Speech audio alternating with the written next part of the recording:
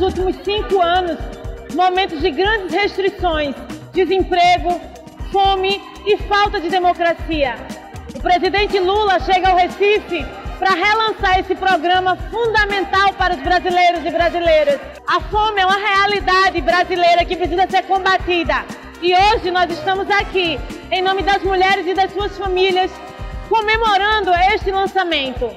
Vamos ficar juntos para reconstruir o Brasil.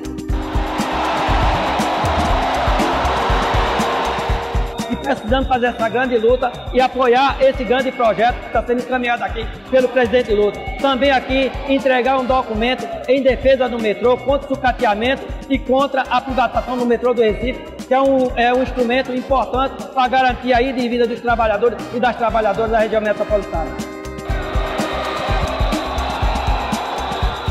E o presidente Lula começa hoje, mais uma vez, o programa de aquisição de alimentos, que vai tirar as pessoas da miséria. Mas não só isso. O governo Lula vai anunciar também, nesses dias, o investimento de mais de 60 milhões de reais em obras de morro no Recife. Uma parceria com o prefeito João Campos, depois de negociarmos o retorno dos investimentos do PAC. É isso. Muita obra para os morros da cidade e alimento na mesa do povo. Terminou um ato potente quando o presidente lança o programa de aquisição de alimentos, vai fazer com que toda a cadeia produtiva da agricultura familiar funcione.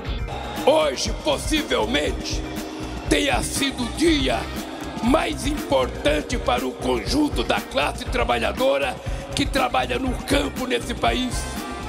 Eu acho que poucas vezes na vida tantos ministros vieram aqui fazer anúncio de coisas importantes para o nosso amanhã. A ministra da Ciência e Tecnologia lança um grande projeto para monitoramento de encostas. É preciso ter um monitoramento para evitar que os eventos climáticos que causam desastres e que causam tragédia salve vidas. Além disso, vários outros projetos ligados à ciência, à tecnologia, ao combate à fome, à educação, à produção familiar foram lançados aqui no Geraldão.